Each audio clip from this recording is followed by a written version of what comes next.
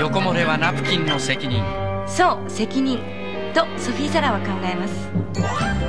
だからソフィー・サラはサイドギャザー。多い日一気に来ても動いてもギャザーが立って食い止めるから。